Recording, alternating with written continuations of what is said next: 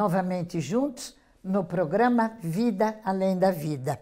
Neste nosso segundo programa sobre a mediunidade dos santos, vamos abordar com Humberto Fabre mais alguns aspectos interessantes sobre o tema, relacionado às explicações da doutrina espírita.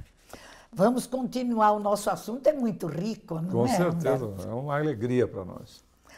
Há médios em todas as religiões, então. Nós falamos da católica e, e na visão espírita. E nas outras? Em todas, uh, dependendo muito de como é tratado. Na realidade, a base é a mesma, só recebem, por vezes, denominações diferenciadas. Mas o fato é que Deus não poderia não é, privilegiar uns e negligenciar outros porque mediunidade é uma ferramenta, está na mão de criaturas que, tem, que possuem moralização, como, estão na, na, na, como está para as criaturas que, são, que não são moralizadas. E é, a bondade divina estende as suas bênçãos para todos, de forma que a interpretação fica a cargo de cada um. Como os espíritas veem os milagres dos santos, então? É, os espíritas, os evangélicos, que não têm um conhecimento profundo da doutrina espírita, como uma coisa excepcional? Bom, não, não, os espíritas não, em absoluto. Né? Nós é, conhecemos é, ainda muito pouco de certas leis para que esses efeitos que são produzidos, é, podermos pesquisá-lo em detalhes no sentido de temos todas as explicações, mas eles estão inseridos dentro das leis universais, não sendo em momento nenhum derrogação da lei natural, e nem poderia ser, porque se estaria havendo um, haveria um desequilíbrio onde Deus poderia beneficiar uns em detrimento de outros. Agora, a visão, por vezes, é, ela é um pouco restrita e, como dissemos já no programa anterior, né, todo, toda a classificação de milagre é fruto do desconhecimento de leis que estão, atuam não só no planeta Terra, porque as leis não estão apenas, não são criadas para atender o nosso planeta, e sim o universo em todas as suas dimensões. Né? Tanto é que a, a terminologia de uni está deixando de existir para ser multi, não é? Porque se entende, já se entende, se, se, tem noção de que não existe apenas este que nós sequer ainda conhecemos. Não é? Agora, a mediunidade se, se verifica entre os bons e também entre os maus. Porque nós temos falado no programa passado e neste também só sobre os bons milagres. Não podemos considerar um ato feio como um milagre é a obra. É a, é a mesma, a mesma situação sendo utilizada, a mesma ferramenta sendo utilizada de uma maneira distorcida. Eu posso utilizar a faca na cozinha para preparar alimentos ou posso ferir as pessoas. É o mesmo processo. Na realidade, nós vemos a, a condição simples do ensinamento do Cristo de que semelhante atrai semelhante vou encontrar entidades que têm alto poder magnético para me auxiliar em efeitos que possam prejudicar o outro. Nós encontramos, aliás, na própria obra Libertação de André Luiz, quando o Silveira, que era magnetizador, utilizava-se do seu potencial magnético em excesso para prejudicar a obsidiada que era a Margarida ele passa a ser utilizado depois que é esclarecido pelo mesmo mentor que utiliza-se dele com uma dosagem adequada de magnetismo para beneficiar aquela que ele, ele queria prejudicá-la. Simples assim, né? Nós vemos na, na mesma criatura, a criatura é ignorante, desconhecedora, mas utilizando seus potenciais para prejudicar e a criatura esclarecida utilizando seus mesmos potenciais de forma dosada para auxiliar, que é a maravilha, não é? É a mesma ferramenta sendo usada de maneira adequada. Então, no caso, quando nós pedimos, fazemos uma promessa a um santo, especificamente aumenta a possibilidade de se obter o milagre, ou a cura, ou aquilo que queremos. Então, quando nós emitimos um pensamento a um espírito menor, com menos é, condição moral, nós entramos também em sintonia com o mal? Bom, não necessariamente. Se a nossa solicitação é uma solicitação que vise a beneficiar-nos ou a beneficiar a terceiros.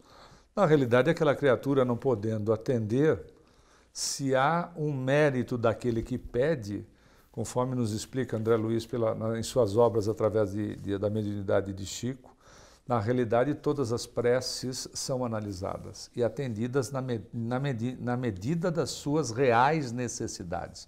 Porque uma coisa é pedir imaturamente, outra coisa é saber pedir. Né? E esse saber pedir está relacionado com a, a, a, construção da criatura. E por vezes eu posso santificar alguém no meu desconhecimento, possa, uh, eu possa santificar alguém eh, cuja condição não é a de um espírito evoluído. Santificação, entenda-se, evolução do espírito, não é verdade? E eu deixarei de ser atendido por rogar a essa criatura? Não, se eu tenho uma meritocracia eu serei atendido até mesmo em nome daquela criatura a qual eu estou me devotando. É porque o Senhor nos atende, né, como nós verificamos com Emmanuel no livro Fonte Viva. Né? Ah, o nosso próximo é a nossa ponte para com Deus. E Deus nos atende, atende a criatura através da criatura. Quer dizer, pouco importa se eu estou é, orando para José e, esse, claro. e José não tem elevação, mas se eu tenho mérito, serei atendido em nome de José. Né? Agora, você falou na prece. Cada santo é mesmo responsável por uma causa. O santo das aflições, o santo do casamento, o santo das coisas impossíveis, São Judas Tadeu. Qual é a visão espírita, por exemplo? Nós vamos ter um espírito para cada causa nossa, para cada pedido nosso? Não, nós temos, nós temos um. Nós é temos uma adaptação de acordo com as nossas necessidades. Né? Agora, é. o, o santo ficar à disposição só daquilo, eu sou responsável por aquela. É, é, o espírita teria um espírito também responsável só por essa. Na realidade, é, são todos os aspectos que atendem à necessidade da criatura. Né? É, eu costumo usar um exemplo simples. É, se nós vamos a uma igreja e a igreja é desprovida é, de, de, imagens, tem os nichos, mas os nichos são vazios, nós acabamos tendo uma certa decepção. É, porque aquilo que nós procuramos na, na, naquela instituição é para atender a nossa necessidade. Da mesma forma que se nós formos a uma casa espírita e estiver cheia de imagens, então, é, causa-nos estranheza. Os, os nossos amigos espirituais atendem-nos de acordo com as nossas necessidades. Nós criamos esses aspectos, essas necessidades, e eles não que tenham que se adaptar exclusivamente, mas eles nos atendem é, é, na sabedoria desses espíritos mais elevados, eles entendem que nós precisamos disto, dessa maneira de ver, mas não é assim que funciona, não é verdade? Agora, muita gente pergunta isto quando vai à casa espírita mas eu ainda não consigo me libertar. Eu gosto muito de Santo Antônio, de Santa Rita, uh, Santa Teresinha. E quando nós, espíritas, endereçamos essas preces a esses santos, qual é a reação? Porque este vínculo, muitas vezes, nos ata a tradições de outras reencarnações, né? Sim, mas o fato é que ninguém deve se agredir naquilo que é, aceita e naquilo que lhe faz bem. Nós sabemos que o plano espiritual não funciona desta maneira, não é? Nós somos atendidos em nossas necessidades, não precisa ser por A, B ou C. Mas, é, como nós já dissemos na, na, na nossa pergunta e resposta anterior, não é? Nós não, não, não existe essa composição, essa configuração no plano espiritual. Porém, a pessoa que assim proceda e tenha, se sinta bem, se sinta amparada, é, ela, não deve, ela não deve se agredir, porque o importante nisso tudo são os sentimentos que a movem. Sem é? dúvida. É, eu mesmo, dona, dona Nena, eu não vim de família espírita. E quando fui Quase para... todos nós não viemos, é, eu também. E quando fui para a, a, a, doutrina espírita, nos meus primeiros momentos de aluno nas escolas eh, de aprendizes do Evangelho, eu ainda tinha alguns resquícios que eu mantive durante um certo período de tempo, talvez de seis, oito meses, ainda acreditando que aqueles aspectos eram importantes. À medida que eu fui conhecendo, né, fui tomando conhecimento e percebendo que, é, não apenas conhecendo, mas verificando a, a, a, de fato né, a razão por trás de tudo aquilo, eu fui me libertando desses aspectos. Mas eu não me contrariei. Não me contrariei durante um período, porque eu precisava da figura, do desenho de Jesus para fazer prece. Sem dúvida. E não me contrariei até quando eu não, não necessitei mais. mais disso. Né? Então, a, as pessoas não podem se contrariar eh, se aquilo que fazem esteja fazendo bem si para elas mesmas, principalmente com o propósito de beneficiar os outros. Vamos a um breve intervalo e voltamos em seguida. O programa Vida Além da Vida tem o apoio cultural da Livraria Espírita União. Adquira estas e outras importantes obras na Livraria Espírita União.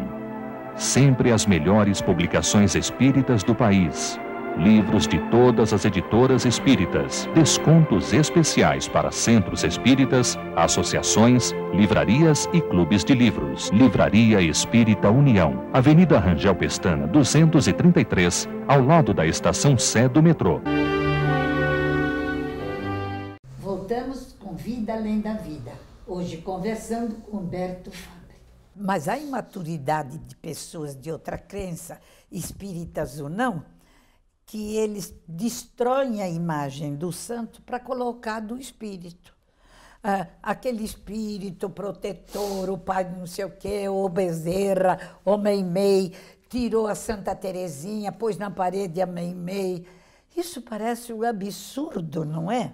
É, mas é, na realidade há um processo de transferência. É, né? transferência. Há um processo de transferência necessário ainda porque é como nós uh, verificamos, né? quanta influência e de que de tempo, inclusive, tanto for, né, no plano físico como lá, como a própria irmã do Chico né, é. nos mostrou, estar lá na, uh, reunida entre os e católicos. Que precisa. É, quanta influência, quanto tempo. Então, nós não vamos sair dos aspectos ah. das imagens, nada contra a imagem, nada contra os quadros, etc. Se Mas são, é, são resquícios que ainda duram. Mas também é aquela história. De um outro lado, nós podemos ter a, a foto do familiar querido que de repente desencarnou pelo simples fato de termos a foto, mas não com e ele apego. esteja até encarnado? É, não com apego. Às vezes até mesmo dentro da própria família, né?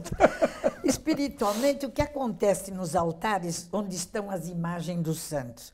São lugares de boa vibração. Estas imagens, elas todos vão orar, se ajoelham os pedidos. A imagem, ela reúne, coleta e manta.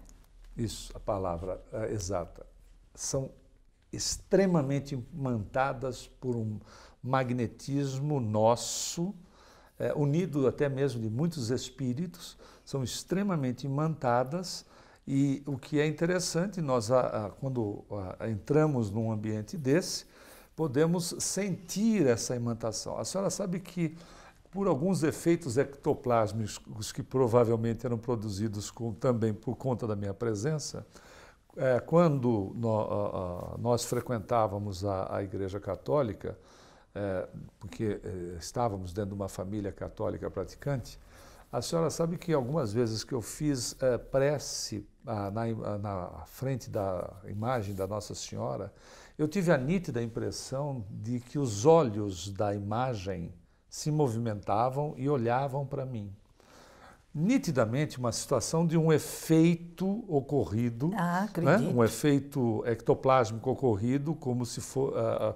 fazendo com que eu visse esse aspecto. Isso. Os olhos não estavam se mexendo, nem tampouco tinham vida, mas a, a, a situação pra, apresentada para mim, e não era um processo de hipnose, mas sim uma, uma, um, um efeito de natureza ectoplásmica, me transmitia aquela sensação positiva aquela imantação toda no ambiente me envolvia de uma maneira extremamente positiva e eu saía de lá renovado. É o passe que a gente toma, né? Sem dúvida. É o passe. Eu lembro do Chico, uma pessoa que viajou para a Espanha e que era da época de lá, trouxe a ele, que tinha da família, uma imagem de Nossa Senhora do Pilar, que havia sido encontrada nas ruínas de uma igreja na Guerra Civil Espanhola. E o Chico a tinha no quarto, onde dormia a irmã, que era muito católica. Quando ela vinha, ele dizia que ela, ela adorava e precisava ter a imagem dela lá. E, e um dia eu perguntei a ele exatamente, ele disse, nós podemos imaginar o quanto que ela materializou estas é, preces aos pés dela no altar durante milênios então, em si não é o gêcio, é o conteúdo daquela santa que ele traz, que é exatamente o desprezo, é um desrespeito a isto, não? Com certeza, desrespeitar o ser humano. Ah, a senhora sabe que eu me recordo de criança, ah, são recordações muito positivas. Tinha a imagem de Nossa Senhora que ela era transferida de casa em casa e ficava por um, não sei se é uma semana, 15 dias, eu não me recordo bem. É, a imagem ficava na casa, então se punha uma vela que é, era em copo e tinha água e óleo, uma coisa é, assim, dia e noite. Lamparina. Eu me lembro disso com muita, muita alegria, com então. coisas que eram muito positivas, porque quando chegava a imagem para ficar na casa, na nossa casa, era assim um momento especial, aquele período era muito especial. Então veja como essas situações são respeitáveis. Né? Tanto é. é. que no livro Ação e Reação, André Luiz fica impressionado com aquela senhora que faz oração de joelhos né, no oratório para o nicho que estava vazio. E quando ele, ele questiona, ele é orientado a respeito, dizendo: Veja o quadro mental que ela projeta dentro do nicho. Ela projetava, o nicho estava vazio, mas para ela não, porque ela projetava a imagem de Nossa Senhora Aparecida. É. Então, até lá eles respeitam as pessoas, quem somos Imagina. nós para ficar ditando normas, né? Exatamente. Como identificar o que é o espírito do santo católico que se comunica nas sessões espírita? Quais seriam suas características, por exemplo? Porque pela lógica da razão, estes espíritos, se estão no mundo espiritual, eles trazem também esta identidade daquela que eles carregavam como santos, né? Podem trazer. Por exemplo, nós vemos isso durante a codificação. Vários deles se apresentam é, e, de, e, colocam os seus nomes para Kardec. Mas o fato é, é baseado nos próprios ensinos da, da doutrina, é, que estão a, todos inseridos na codificação, a característica é a da bondade, é a do amor, é a da elevação moral. Né? Esse, essa é a principal característica.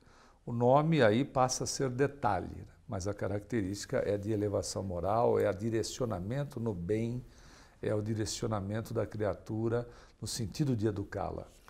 Agora, é, é, o mês das festas, das promessas juninas, dos sorteios, das superstições. O que é que os santos, o que é que eles consideram estas, estes pedidos a eles? Porque ficou praticamente aqui no Brasil esta tradição. É, é a época dos pedidos a Santo Antônio, a São João, a Pedro menos. Parece que a Pedro. Uh, o, o Pedro é mais enérgico. mais respeito a Pedro. o Pedro mas, é mais enérgico. Mas a João e a Antônio é, é um desrespeito. É? Tem mais preferência. Ah, na realidade, o que os espíritos analisam, como nós sabemos, são as intenções das criaturas. Né? Toda, toda a intenção positiva no bem, seja próprio e principalmente do semelhante, essa é o que é levado em conta. É como nos ensina o livro dos Espíritos no dia chamado no Dia dos Mortos, no Dia dos é. Finados, porque espíritos são mais estão mais presentes, porque se invoca mais. Da mesma maneira, por, é, a, a, as pessoas em relação aos seus santos de devoção que, de novo, né, são as festas, as pessoas que assim entendem, é, são muito respeitáveis. Só sabe que na minha infância eu adorava uma festinha de São João. Ah, mas sem dúvida. E é tradicional aqui é. no Brasil, levada em consideração, e a gente ponderando isto, que não se faz a festa exatamente para agradar o santo, mas é uma Sim. maneira da, da tradição. De nos congregarmos, né? Não é verdade? É, nos unirmos em família. Assim, como pensar que um espírito, você lembrou bem, no dia de finados dos mortos, que a família vai fazer um encontro no cemitério. Se o espírito está bem, por que não encontrar-se em casa ou, ou em qualquer outro lugar, na casa espírita, mas no cemitério? É, é em casa é mais confortável recebê-lo, né? Então, mas é de novo, né, a necessidade, né? A necessidade da criatura precisa ser atendida. E ela é respeitável e é interessante que nós vemos isso na história. Né? O índio que dança para a chuva acaba acontecendo, né? acaba, acaba ocorrendo a chuva. Mas por quê? Porque é óbvio. Os espíritos entendem a sua necessidade, a necessidade da alimentação, etc., e tudo mais, e, e fazem com que o, o processo aconteça. É. Em todos, os, em todos os momentos, de todas as maneiras, por mais rudimentar que nós nos apresentemos diante das entidades, rudimentar no entendimento, evidentemente, seremos atendidos de acordo com as nossas intenções positivas. Né? É, e, e, as festas juninas foi uma coisa realmente dentro da, da, do concílio católico, eram festas populares e que foram aliadas às comemorações. Então não tem por que nós também não comemorarmos, porque houve época que absurdo o centro espírita comemorar uma junina. É um folclore, é a é, festa em si. É, porque é? o Brasil tem um nível de, um nível de cultura, né? Nas, nossas tradições, elas são muito significativas e são muito bonitas. Né? Bonitas, e claro. E por que não, não levar... Os outros países procuram levar das suas culturas para o mundo, porque claro. também não apresentá-las né, culturalmente, porque nós somos muito ricos, não é, dona, dona Não é? Nós somos muito ricos. É, e o brasileiro, é, é, é interessante, né? É, quando se está fora do Brasil, se vê o valor da, desta nação, é, não que se não, não, não, que se, não que se enxerga, não se deixe de enxergar aqui, mas estando fora, como é a minha experiência, como se pode ainda constatar com muito maior eficácia a riqueza desta nação, deste povo abençoado por Deus, que, claro, como todas as outras nações, têm as suas dificuldades, as suas deficiências, mas sem sombra de dúvida são criaturas de grande valor. Há na condição de espírita comunicações de diversos santos.